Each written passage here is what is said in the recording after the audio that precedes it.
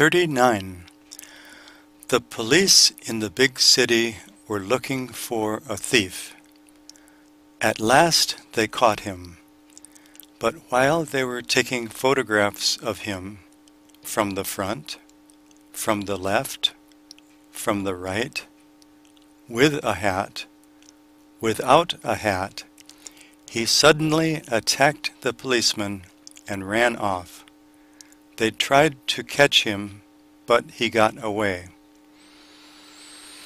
Then, a week later, the telephone rang in the police station and somebody said, You are looking for Bill Cross, aren't you? Yes. Well, he left here for Waterbridge an hour ago.